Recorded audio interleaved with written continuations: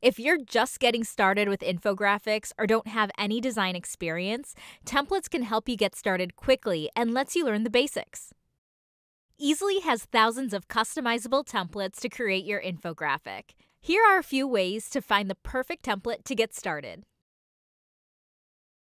If you're looking for inspiration or to get ideas for colors and layout, simply scroll through the public visuals available on the homepage. We add new templates all the time, so check back often. You can also browse by category on the right or search by keyword using the search box. I'm going to select Checklist from the category menu as an example. From here, you can just click on the template you would like to work with and you'll be taken right into the design tool. Once you're in the design tool, you can customize and personalize the template by editing the text, icons, and graphics. If you're already in the design tool, you can search for templates by clicking on the templates button. You can search by keyword using the search box, or you can browse by category.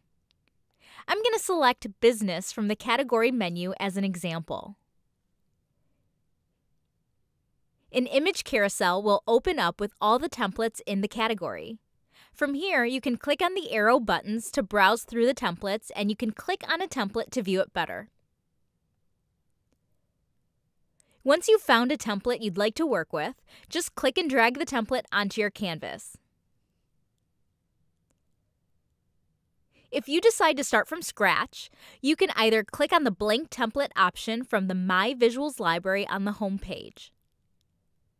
Or you can drag a blank template from the template library onto your canvas and delete the elements and instructions from the canvas when you're ready.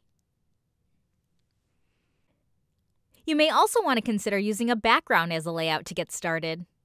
Just click on the background button and an image carousel will open up with all the backgrounds that you could use. From here, you can click on the arrow buttons to browse through the backgrounds and you'll want to scroll to the backgrounds that have a built-in layout. Keep in mind that you may need to resize your canvas once you've chosen a background. To do this, click on Resize from the menu bar and select a size from the drop-down menu. Now you can add your text, icons, and graphics right on top of the background. Now that you know how to search for a template, take some time to explore what's available and try out some of the templates. As a tip, don't limit your ideas to the category assigned to a template. For example, if you find the perfect template in the business category that offers a great layout for your health topic, then go for it. Just customize it with icons and graphics that pertain to your topic. If you need additional help with customizing the templates, check out our other tutorials or online help articles. You can also connect with us through email or chat.